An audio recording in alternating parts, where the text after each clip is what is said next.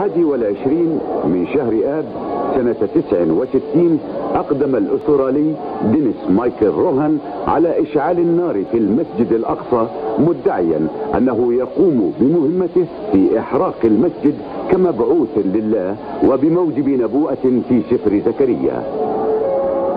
كان من أهم ما أتت عليه النيران المتصاعدة منبر صلاح الدين ومحراب زكريا والمحراب الرئيس للمسجد إضافة إلى جدران المسجد ونوافذه وأثاثه.